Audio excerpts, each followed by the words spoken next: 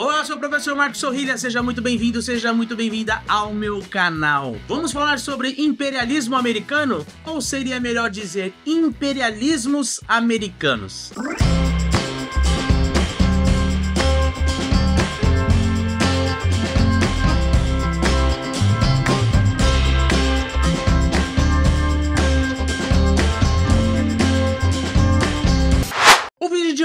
É, na verdade, uma entrevista com o professor Carlos Gustavo Pógio Teixeira, professor de Relações Internacionais da Berea College, lá nos Estados Unidos, uma faculdade que fica no estado do Kentucky. Ele está lançando um novo livro chamado O Império Ausente, Brasil, Estados Unidos e o Sistema Sul-Americano, pela editora Vozes. Para quem estiver em São Paulo, o livro será lançado no próximo dia 14 de maio, às 7 horas da noite, na Livraria da Vila, no Shopping Eldorado. Então já fica aí o convite para quem estiver em São Paulo para comparecer ao lançamento oficial do livro aqui no Brasil. Quem acompanha as lives aqui no canal sabe que o Carlos Poggio é uma referência costumeira nas minhas análises sobre política americana. Agora, quem é meu aluno sabe que o livro dele, O Pensamento Neoconservador e a Política Externa dos Estados Unidos, que foi lançado pela editora Unesp em 2010, é item obrigatório Obriga na bibliografia, bibliografia, do meu curso. Quem passa pelo meu curso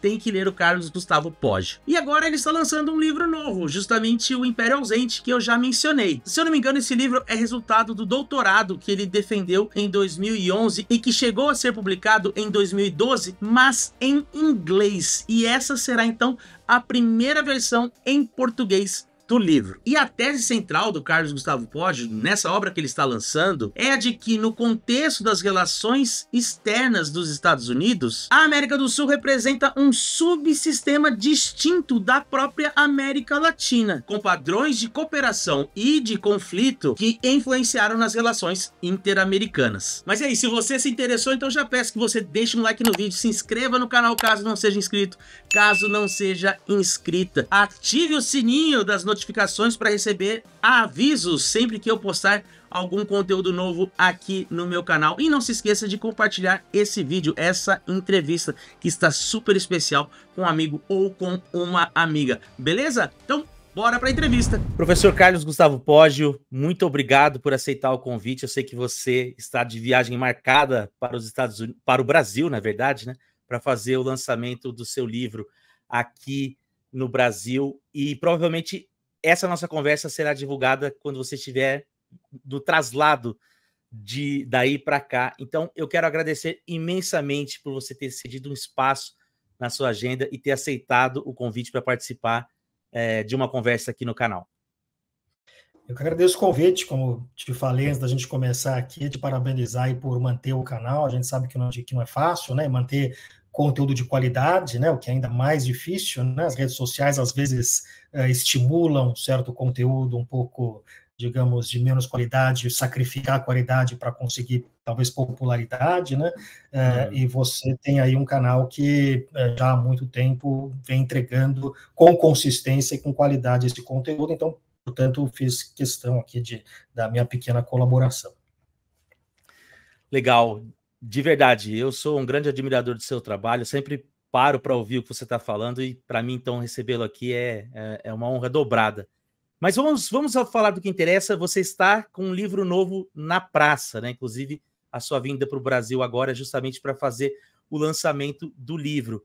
E aí, eu fui fazer uma pesquisa prévia e eu vi que esse livro, na verdade, ele já foi lançado anteriormente em inglês se não me engano, em 2012. Depois você me corrige se eu estiver falando besteira. E eu queria saber como é que foi essa trajetória, né, do processo de escrita até a decisão de publicá-lo agora em português pela primeira vez.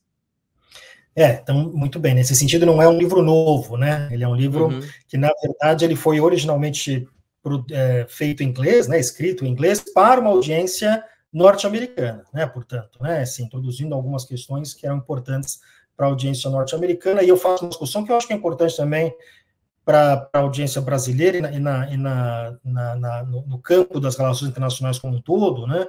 Porque tem uma discussão sobre o conceito de América Latina, né? Quão uhum. útil é esse conceito para estudar as relações internacionais do continente americano, né? Esse, essa construção que eu chamo é um construto abstrato da América Latina, né? Que aliás é o, se você for pensar nas, quando eu, quando eu falo sobre o livro, a gente pensa as regiões do mundo, né? Então, você tem a Europa Oriental, você tem uh, o norte da África, você tem o Sudeste Asiático, uh, você tem até mesmo o Oriente Médio, que é ainda uma, uma, uma, referência geográfica, né? médio no sentido da distância dos europeus, né? o Oriente Próximo, Oriente Distante né? e Oriente uhum. E para nós aqui, nós temos uma região chamada América Latina, que é um referente não geográfico, mas cultural. Né?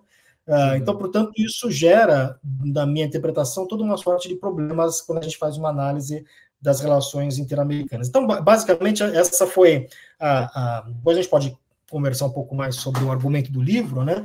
Mas esse uhum. livro foi publicado, é, como você falou, ele saiu em 2012, né? E teve uma, uma aceitação muito boa. Foi um livro que me surpreendeu, assim, a gente modestamente, um brasileiro escrevendo, a gente publicando um livro, a gente já está feliz demais que o livro foi publicado, né?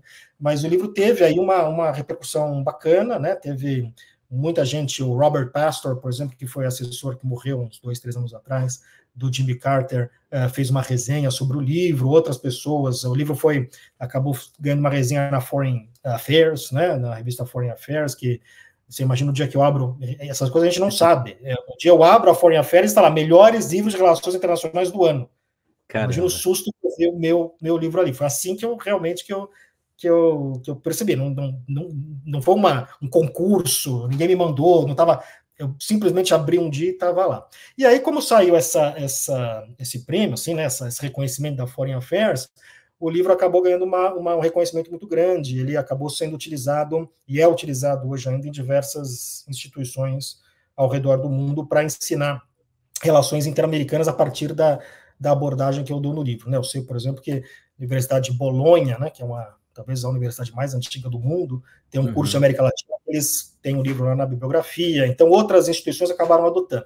E aí há muito tempo eu pensei, que, então, ou seja, foi um livro que teve uma repercussão boa internacional, né, e que eu já, claro, há muito tempo pensava em, em traduzir para o português. Por que, que, ele foi em inglês? Porque ele é produto da minha tese de doutorado, né, uhum. é, então foi essa, e também porque, enfim, alcança uma audiência, né, maior, você tem uma, uma repercussão mais importante da, do seu trabalho. Né? Mas eu sempre tive essa vontade de traduzir para o português. E aí, uh, quando foi 2022, né, eu pensei, nossa, o, o, aproximando 2022, os 10 anos do livro, né? Seria uma, uhum. um momento de, de, de, pensar sobre isso, porque, enfim, é pra, você precisa pensar quem vai traduzir, como é que vai ser, a editora, é, dá trabalho, né? E a gente, às vezes, uhum. não tem tempo para ver essas coisas. Então, fui empurrando, empurrando, empurrando, até que houve esse contato com a editora Vozes, né? E eu não queria que fosse publicado só para publicar, né? Porque tem várias editoras que publicam, né? Você paga lá, a editora publica, não tem problema nenhum. Não tenho,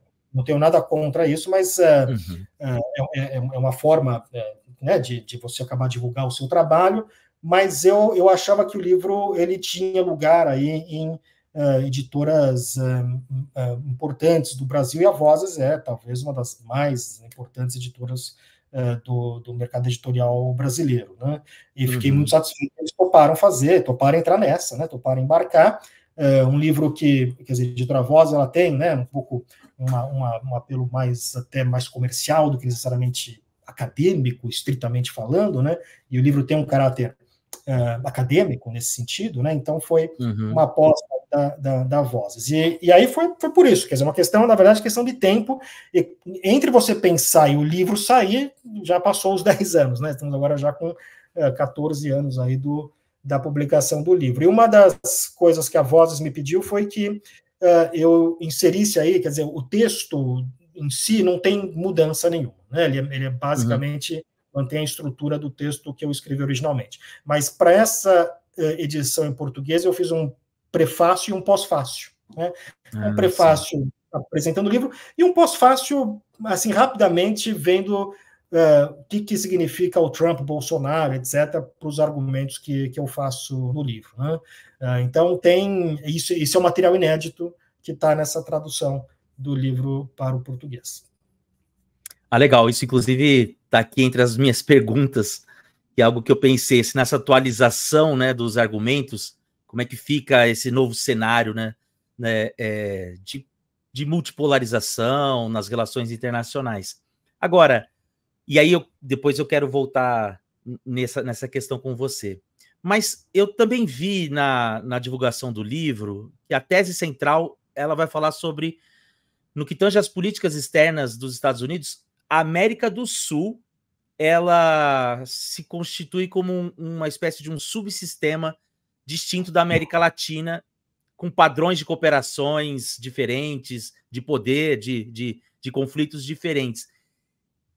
Como seria isso exatamente? Né? Você já mencionou essa questão da América Latina como uma questão abstrata, né? um continente do ponto de vista cultural. Inclusive, dos meus vídeos aqui no canal que dá mais polêmica é um vídeo que eu falo que para o governo norte-americano os brasileiros não são latinos, né? Enquanto que para o americano comum eles nos veem como latinos, né? É, e que e, e a grande polêmica é que quase que 80% do, do público do canal não aceita que é latino. Diz que não, que é brasileiro. Então, é. como, é que, como é que funciona essa questão de ser da América do Sul ser um, sub, um subsistema dentro da própria América Latina nas relações é, internacionais dos Estados Unidos? É, e esse aspecto que você levanta, ou seja, o desconforto do brasileiro, que afinal de contas é um país que fala uma língua diferente, é um uhum. país que teve uma trajetória distinta, a única monarquia do continente, né? É, uma monarquia que fala português, é, que, portanto, tem uma história que foi diferente dos seus vizinhos latino-americanos. Né? A história do Brasil é, foi uma história até muito mais estável, né? menos é, dada as grandes as revoluções que tomaram conta, e violência né? que tomou uhum. conta dos processos de independência dos, dos países, é, do, do, restante dos países latino-americanos. Né? Então, essa, esse certo desconforto do Brasil, acho que talvez por essa razão, o argumento que eu faço no livro talvez só realmente pudesse ter sido feito por um brasileiro, né? que deriva, em certa medida, dessa, desse certo desconforto. Mas o, o, o meu argumento, que eu falo sobre a questão da América Latina, não é que o conceito em si de América Latina é problemático. Eu acho que o conceito de América Latina ele é útil para entender uma série de questões, notadamente nos campos eh, da, da, antropologia, da sociologia, é, tem campos da cultura que são similares, né? É, porém, o, o, argumento que eu faço é que, do ponto de vista do estudo das relações internacionais, né, para este campo específico de estudos, este é um conceito que mais atrapalha do que ajuda a entender as relações interamericanas, né? Uh, ou seja, as relações entre os Estados Unidos e os demais países do continente norte-americano, que é basicamente o que são as relações interamericanas, né, dada a presença dessa, dessa grande potência que são os Estados Unidos aqui no continente. E aí eu tento recuperar é, uma, uma literatura, né, que é a literatura chamada de subsistema regional. Né, é, quem é você deve ter muito aluno de relações internacionais que, que assiste Sim. o canal. Em relações internacionais tem a, os níveis de análise, né? O indivíduo, o uhum. Estado, o sistema internacional. Uh, e eu coloco o subsistema regional como um nível de análise entre o Estado e o sistema internacional, né, com as características de um sistema. Né? Então, nesse uhum. sentido que eu, portanto, eu falo de padrões de interação, etc. Quando você olha da perspectiva do sistema, né, uh, unidades de interação, você acaba identificando, ou seja, você tira o elemento cultural, porque o argumento que eu faço é o seguinte: a, a, imagina se você usa o elemento cultural você não tem uma região chamada Oriente Médio. Uhum. Que são culturas completamente distintas. Língua, religião, todos os elementos da cultura. Uh, portanto, mas, porém, não faz sentido você dizer que Israel e Líbano não estão na mesma região, no mesmo, quer dizer, não faz sentido estudar Israel separado uh, dos países que compõem aquela região. Né? Uhum. Uh, talvez faça sentido eu estudar Israel separado de talvez Marrocos, né, que está ainda mais distante de outros países do continente africano ou, da, ou, do, ou do Afeganistão, que seja se for para o outro lado, né? Uh, mas uhum. tem alguns países do entorno, a proximidade geográfica e não a questão cultural é o que determina esse padrão de relações. Né? Uhum. Uh, então, é, então é, é, é o, o meu argumento é que para a gente identificar um subsistema regional, o elemento da cultura ele não é importante. Né? O que é importante é o elemento das interações, ou seja, da, da, da interação concreta. Né? Uhum. Então, é, um subsistema regional é, eu defino um subsistema regional como um, um conjunto de interações entre estados em proximidade geográfica, né? uh, que tem determinados padrões de interação. Interação, eu digo que é conflito e cooperação. Porque uhum. tem uma literatura, e aí eu tento me diferenciar da literatura de regionalismo, que regionalismo é uma questão de uma cooperação regional. Né? Uh, a definição de subsistema regional é uma definição que incorpora cooperação e conflito. Então, são países que cooperam entre si e países que eventualmente entram em guerra entre si. Né? E quando uhum. você começa a olhar deste, deste, dessa perspectiva, você vê que, uh, quer dizer, quando, e aí a crítica que eu faço no livro é a, a, a lente do analista, principalmente nos Estados Unidos, quando olha para a América Latina, né, tenta colocar como se fosse uma região em que, uh, ah, e, aí, e aí o que você vê, quer dizer, América Latina nos Estados Unidos, 90% é México, e América Central e Caribe. Vai ter uhum. um outro lá, Colômbia e Peru, e aí um outro maluco que vai falar de Uruguai, mas aí, veja, aí já não é tanto, entra no mesmo padrão, né? Uhum. Então, é, é, e a gente não tem, se a gente pensar a relação do Brasil com o México, qual, qual é a nossa relação com o México? Né? Uhum. É, é, muito frágil, é muito, sobre todos os aspectos, comercial, com tudo, né? É, uhum. A não ser pelo fato de que imagina-se que fazemos parte do mesmo, uma, uma, mesma região, um mesmo construto social, porque nada mais é que um construto social, chamado América Latina, que, aliás, é um, é um elemento criado justamente para demarcar a, a, relação com os Estados Unidos. Sim. Ou seja, do ponto de vista norte-americano, ele dizer, nós somos anglo-saxões, eles são os outros latinos, e do ponto uhum. de vista latino, pois é, nós temos uma solidariedade latino-americana, etc. Né? Uh, então, um pouco. É, é, é, e aí, quando eu olho a partir deste, dessa perspectiva de subsistema regional, eu começo a analisar os capítulos do livro que vão tratar de ele, é, momentos históricos. É, é, é, um grande período histórico que eu vou estar analisando. Né? Que é um período uhum. histórico que começa na doutrina Monroe, e eu mostro que já na doutrina Monroe havia explicitamente a divisão entre dois sistemas, não havia uma América Latina, não se uhum. falava. Aliás, a, Uh, o Conselho da América Latina sequer existia quando foi proclamada a doutrina Monroe. Né? Uh, não só a doutrina Monroe, como depois o chamado corolário Roosevelt, todos essas, eh, eh, ou seja, na, na, no linguajar na, eh, e na prática, o que, a forma com que os americanos olhavam para a região e a forma com que o, a região, a América do Sul, olhava para os Estados Unidos, era de, de alguma forma diferenciada. Né? Então, olho desde o século XIX até a negociação da área de livre comércio das Américas no século XX, né, que é o meu último capítulo. E o capítulo do meio é o capítulo que eu chamo que é o em metodologia a gente tem aquele que é o teste, né? Quando quer dizer, você precisa testar uma teoria, você pega aquele que é o teste mais difícil para a teoria, né? E o uhum. meu teste mais difícil para a teoria é o golpe no Chile. Né? Uhum. É, sempre que se falar, ah, os Estados Unidos uh, inter, interviu na América Latina, por exemplo, México e Chile. Uhum. É só o Chile tem. É, dizer, o fato de que não houve na história envio de tropas, assim, os Estados Unidos invadiu praticamente todos os países da América Central e do Caribe, e o México. Uhum. Mas não uhum. invadiu nenhum país da América do Sul. Né? É, então tem a questão de que isso foi feito via outros canais, como por exemplo o golpe no Chile. E aí eu exploro muito o papel e um pouco essa questão do papel do Brasil, né, nesse chamado subsistema regional, é uma coisa que na, naquele momento era pouco estudado, que era o papel do Brasil no golpe chileno. Uhum. É, é, o que eu digo assim, porque tem uma abundância de evidência é, da envolvimento norte-americano, ou seja, muita tem muito é, documento que comprova o interesse dos Estados Unidos, a gente, confunde, a gente confunde abundância de evidência com evidência de abundância. Né? Uhum. É, e, por outro lado, não há tanto, tanta. O problema do, do, de quem quer fazer pesquisa sobre o governo militar brasileiro é a falta de acesso a material. Quer dizer, Estados Unidos, você vai fazer pesquisa, tem a gravação do encontro que o Nixon teve, você tem, você tem tudo ali, pronto. No uhum. Brasil, eu escrevia no papelzinho, rasgava e queimava o papel. Né? então é difícil fazer pesquisa nesse. Então, por que não há tanta evidência é, a, gente, a gente não estuda tanto isso, né? Mas eu fui catando pedacinhos de evidência, e uma delas é, a mais forte delas é um, um documento que foi desclassificado na época que eu escrevi a dissertação, uh, que é um encontro do Nixon com o Médici, em que basicamente o Nixon uh, assume que o Brasil estava envolvido no golpe chileno. Né?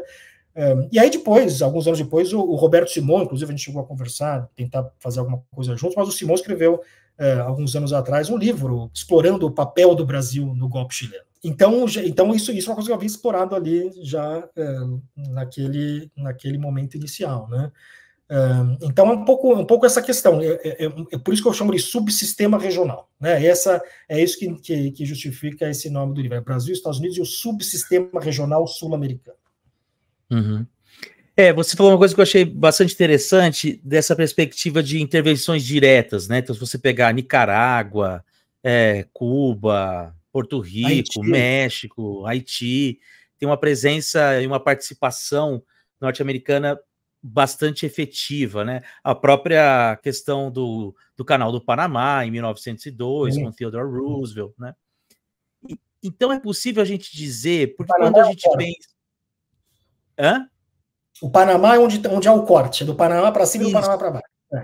Isso. Inclusive, eu escutando você falar, eu me lembrei do livro da Kathleen Fitz, chamado Our Sisters Republics, foi lançado em 2016. Ela fala que na época da independência das colônias é, espanholas, houve bastante é, divulgação nos Estados Unidos, que a gente não encontra isso no nível da diplomacia, mas que nos jornais populares houve bastante comemoração, porque eles entendiam como, como parte da, do, do, próprio projeto republicano norte-americano e tal. Mas no livro ela fala, para eles, a América Latina é o Caribe.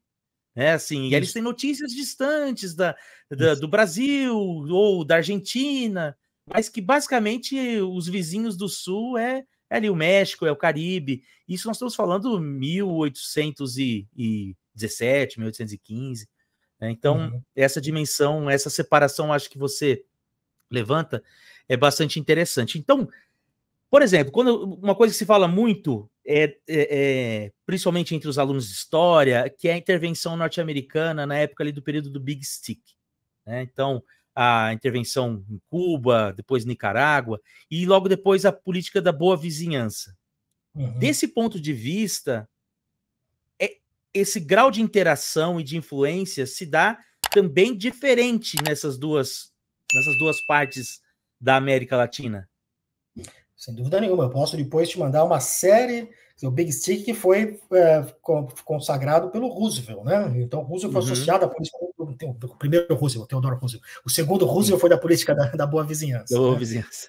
Franklin Roosevelt. Mas o Theodore Roosevelt, associado à política do Big Stick, eu posso dar uma série, e eu, eu fiquei fascinado depois, quando fui fazendo a pesquisa e descobrindo isso, uh, de declarações do Roosevelt dizendo claramente a doutrina não se aplica ao Brasil, não se aplica ao Chile, não se aplica às repúblicas ali no Sul. Ele, uhum. ele, ele, ele fala, quer dizer, uh, isso aparece, ele fala assim, seria tão uh, irreal eu querer aplicar ao, ao Brasil, ao Chile, à Argentina, quanto seria querer aplicar ao Canadá. Então, deixa claro que a doutrina Monroe, e eu depois escrevi um artigo sobre isso, aliás, apresentei numa, num seminário esse capítulo da doutrina Monroe na, nos 200 anos da doutrina Monroe que teve no, no na eu fui num, num, num, encontro na Alemanha no ano passado dos 200 anos da doutrina Monroe, justamente comprovar que a doutrina Monroe não era uma doutrina latino-americana, mas uma doutrina caribenha. Uhum. Né? E era claramente, ela foi articulada como caribenha e ela foi uh, praticada como uma doutrina caribenha pelos presidentes, presidentes subsequentes. Né? Uhum. Uh, então essa articulação era, ela é claramente feita. Uh, por que, que a gente não enxerga isso? Porque nós estamos com a lente dos Estados Unidos da América Latina. Né? Esse Sim. é o meu argumento. Isso atrapalha a nossa análise uh, histórica da região. E aí eu pego essa perspectiva e vou analisando da doutrina Monroe até o século XX uh, e como muda a nossa análise quando a gente usa essa, uh, essa lente teórica. Uhum. Agora, você mencionou o papel do Brasil na, no golpe do Chile, por exemplo, e eu queria saber, então, se o Brasil, porque eu recentemente, nem sei se poderia falar isso, mas eu fui parecerista de um, de um trabalho da FAPESP, em que o pesquisador ele analisa as relações Brasil-Estados Unidos e a aproximação entre Brasil e Estados Unidos no que diz respeito à diplomacia no início do século XX, e que o, os Estados Unidos via o Brasil como uma forma de, de se não se contrapor, mas de, de colocar o seu pé na América do Sul no momento em que a Argentina era a grande potência da América do Sul. Né? Então, que o, o, os Estados Unidos tinham bastante problemas com a diplomacia argentina, vídeo que aconteceu, por exemplo, na Conferência Pan-Americana, né, que os argentinos é, não aceitaram as condições. E, Foi chamado de um mal vizinho. Da boa mal vizinho. Chamado do mal vizinho. E, e, que, inclusive, então, que o Brasil, naquele momento, era interessante para os Estados Unidos uma, uma aproximação, e aí os diplomatas brasileiros começam a ser mais americanistas, né? E menos latino-americanistas. É, e aí eu queria saber, então, se o Brasil ele, ele tem. E, e depois pensando mais para frente, por exemplo, a questão do Hugo Chaves, né? Quando o Hugo Chaves chega a, ao poder, o Bush via o Lula como alguém mais moderado e capaz de, de ser intermediador entre os Estados Unidos e o chavismo. Então, o Brasil cumpre um papel de destaque nesse sistema, é, é, é, nesse subsistema sul-americano? Vou começar pela, pela sua observação final. Você falou assim: o Bush via o Lula como alguém que podia ajudar ele na questão da Venezuela. Quem é o Lula, ou quem é o, o, o equivalente ao presidente brasileiro, quando quer lidar com algum presidente latino-americano? Não existe isso. Essa uhum. figura não existe. Né? Ele via o presidente do México como alguém que ele podia ajudar para lidar com Honduras. Não, não existe isso. Né? Uhum. Uh, isso, portanto, mostra, uh, uh, então, essa outra parte da tese, o papel do Brasil nesse subsistema regional. Né? O papel do Brasil em manter, e já participei de diversas, imagina, eu falo desse livro já há mais de 10 anos e fiz várias palestras sobre ele e tal, e sempre tem a questão da, dessa, dessa minha designa, designa, designação do império ausente, né? Como assim, ausente uhum. e tal, né? Uh, e é claro, é. é ausente no sentido relativo, é ausente se comparado com a presença muito forte na América Central e no Caribe. Né? E um dos elementos que mantém os Estados Unidos ou seja, qual que é normalmente a, a, interpretação tradicional é assim, ah, claro, não é porque o Caribe é estrategicamente importante, tá? como se a questão da estratégia fosse estrategicamente importante fosse o único elemento na nos cálculos norte-americanos. Né? Tem uma série de regiões uhum. do mundo que não são necessariamente estrategicamente importantes. Você vê aí a presença né, do chamado do Império Americano. Né? É, uhum. Eu acho que não fosse o papel do Brasil, talvez os Estados Unidos seriam um império muito mais presente na América do Sul. Né?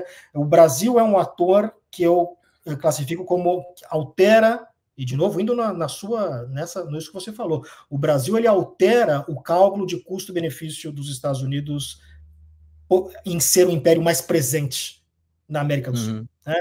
É, de vez em quando aumentando os custos de uma de uma é, possível maior intervenção norte-americana ou envolvimento norte-americano e do outro lado aumentando o benefício de não envolvimento, né? No sentido assim, deixa que eu uhum. faço, é, uhum. Não venha, não precisa você fazer que eu faça. Ou seja, então, e claro, o Brasil seria um interlocutor para lidar com Chaves, mas não seria um interlocutor tão poderoso para lidar com alguém em El Salvador ou Honduras e tal. Ou seja, é, claramente perde essa, essa, uh, uh, esse papel. Né? Então, é um papel que, de novo, na diplomacia brasileira foi muito bem também construído sobre, sobre a América do Sul como espaço uh, brasileiro, né, de, de influência brasileira, né?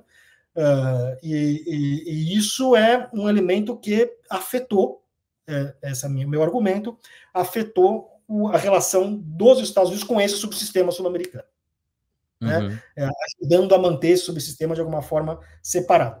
Porque os Estados Unidos têm, ou tiveram, a capacidade de poder intervir nos países da América do Sul, ou seja, de alguma forma, a capacidade de, trans, de mudar os padrões de interação que outra coisa que eu falo dos subsistemas regionais é que eles não são, não são regiões, eles são subsistemas uhum. regionais. Então, eles têm um aspecto geográfico, mas tem um aspecto de interação. E a, interação, a geografia não muda, mas a interação muda. Né? Então, os uhum. Estados Unidos teriam um império muito presente na América do Sul, se assim o desejassem. Né? Sim. Uh, então, portanto, a, a, minha explicação é sobre qual que é o papel do Brasil. Esse é um outro elemento que eu vou olhando na doutrina Moro, né, nos capítulos do livro, como é que o Brasil atuou uh, claramente para manter, de alguma forma, os Estados Unidos, seja fazendo papel para os Estados Unidos, né, o caso do Chile seria isso, né, não deixa que aqui eu, eu intervenho, não precisa você intervir, né, uhum. uh, seja uh, se contrapondo, como no caso da negociação da ALCA, né, querendo, evitando uma presença maior dos Estados Unidos nesse subsistema regional. Entendi, muito interessante. Bom, E como é que e como é você, bom, sua tese é de 2011, o livro é de 2012, você analisou da doutrina Monroe até a Alca, que é ali virada do século 20 para o século 21, 98, se não me engano. É, e, e, e, essa atualização, nesse novo momento que o mundo passa, né? A gente se escuta falar de nova Guerra Fria, eu não sou adepto dessa, dessa leitura, mas alguns dizem que a gente caminha para um mundo multipolar, outros dizem que a gente está apenas numa fase de transição multipolar para uma nova bipolaridade. Como é que fica esse, esse, esse subsistema? Qual é a importância né, da América do Sul para os Estados Unidos nessa, nessa reconfiguração do mundo? E também me pergunto, eu não sei se os Estados Unidos também tem isso muito claro, porque a gente tem aí o, o Biden tem uma perspectiva mais é, de multilateralismo, de reforçar as instituições mediadoras, e o Trump é o contrário, né? Tem uma visão mais. Alguns falam isolacionista, eu tenho minhas, minhas questões com esse termo, mas assim, mais nacionalista, de, de relações mais bilaterais. Como é que fica o, o, esse nosso sistema, esse nosso subsistema América do Sul, para ser mais especificamente, nesse jogo aí de interesses é, e de reconfiguração do poder no sistema internacional? É, uh, essa é uma ótima pergunta. Primeiro que na, já na minha análise que eu faço dos capítulos, eu, eu começo olhando do ponto de vista do sistema internacional agora, né? A doutrina Monroe, uhum. sistema multipolar, né? Mais centrado na Europa, os Estados Unidos ainda como uma a doutrina Monroe foi um blefe norte-americano, né? Isso é considerado sim, sim, sim. né? A capacidade para isso. Então, era um mundo claramente que a gente pelo menos classifica é, como um mundo multipolar, ainda não de caráter global, né? É, mas é aquilo está dentro da multipolaridade. A, a, intervenção do Chile, a Guerra Fria, sistema bipolar. ALCA, sistema unipolar, né? Claramente aí a uhum. unipolaridade uhum. Então você tem nesses três momentos já é, um pouco da observação do que você está dizendo, ou seja, a transformação do sistema internacional ocorreu durante o período que eu analiso no livro. É, e, e, e o argumento é o seguinte: mesmo com transformações do ponto de vista uh, do sistema internacional, que é o que está falando, como do ponto de vista doméstico, ou seja, o Brasil de uma, uma monarquia para uma ditadura, para uma democracia, né? Uh, ainda assim os padrões permaneceram mais ou menos os mesmos, o que mostra a força, o que mostra o elemento sistêmico aí, né? É, a uhum. força da questão sistêmica e não da questão propriamente conjuntural. Né? Dito isso, eu acho que com a transformação desse sistema que nós estamos vivendo agora, que, no mínimo, se a gente não consegue descrever, no mínimo, parece ser um. Parece não, é, nesse momento que estamos em 2024, é um enfraquecimento da unipolaridade, sem dúvida nenhuma, não é o mesmo sistema unipolar uh, que era uhum. o imediato pós-Guerra Fria, mas ainda não sabemos muito bem descrever como é que são, são as características, vai ser um novo multipolaridade, etc., ou vai ser alguma outra coisa diferente. Né? Eu tendo a achar que será alguma outra coisa diferente, que o próprio conceito de polaridade vai, vai perder a relevância, mas aí a gente precisa adquirir um novo vocabulário, né, para poder uhum. descrever esse sistema internacional. Mas eu acho que nesse novo sistema, uh, o, uh, o, o, o, foco regional e o foco subsistema regional ganha ainda mais relevância, né? Então acho que essa abordagem teórica que eu desenvolvo no livro, num sistema em que você coloca, começa de, que parece que, que se, se fica mais fragmentado, né? De alguma forma, inclusive, até a própria globalização meio né, recebendo. Né? Então, tem uma, tem uma série de, de sinais aí de, de, de, mudanças no sistema internacional que eu acho que nós, de alguma forma, vamos precisar de um novo vocabulário para poder descrever esse novo sistema, e eu acho que tem alguma contribuição a dar com essa, essa visão, essa lente a partir do subsistema regional, à medida que o sistema internacional ele não é mais tão uh, centrado né, nos Estados Unidos. Então, isso pode dar, de alguma forma, mais força uh, a, a, esses outros países, que seria um primeiro momento. Dizer, o que, o que a gente conhece como multipolaridade é uma multipolaridade, como disse, centrada no sistema europeu, onde você tinha mais da metade do resto do mundo era colônia. Né? Uhum. Uh, uma nova multipolaridade hoje viria num sistema de estados soberanos, etc., e que, portanto, eu acho que o elemento regional ganharia uma, uma relevância, né, para a gente poder tentar analisar e entender o que, que vai ser esse mundo do século XXI. Então, nesse sentido, a gente também ganha mais poder de barganha, né, nessa nova, nessa nova condição do mundo, ou, ou não? Uh, Acho que é, todo, dizer, o velho, o velho ditado que sempre crises geram oportunidades, oportunidades né? ou seja, mudanças, né? É, são, é, e essas mudanças sempre geram oportunidades. Acho que, é, claro, o Brasil, se souber jogar né, com, essa, com essa nova realidade, sem dúvida nenhuma, com mais atores, acaba ganhando um poder de barganha muito maior do que tinha durante o sistema unipolar. Né? É, e aí nós vamos ver qual vai ser, quer dizer, e aí se a minha perspectiva teórica estiver certa, nós vamos ver outras formas que o Brasil vai buscar o mesmo fim, é, que é manter a América do Sul como um espaço privilegiado de atuação. Excelente. Se você falou, eu já estou comprando a sua, a sua leitura, 100%. Não, vamos, Carlos então, Gustavo então... Muito obrigado pela, pela, mais uma vez, por ter doado um pedaço do seu tempo, é, para conversar aqui com a gente, falar do seu livro. Então, reforçando, eu já falei isso anteriormente, lançamento no dia 14 de maio na Livraria da Vila, no Shopping Eldorado, em São Paulo, a partir das 19 horas. Quem quiser pegar um autógrafo, conhecer o autor, tietar, é o local ideal para isso. Muito obrigado, Pógio. Obrigado, Sorrilha. Prazer ter conversado com você aí. E vamos em frente aí, ver se a gente consegue, se você passar por São Paulo enquanto eu estiver por lá, será um prazer te encontrar. Claro, e claro, já quero aproveitar aqui para te deixar naquela saia justa, convidar para você voltar aqui a participar do canal para discutirmos sobre as eleições americanas. Eu sei que você, como eu, adora esse tema. Temos bastante mesmo. assunto para tratar. Obrigadão, viu? Obrigado, um abraço.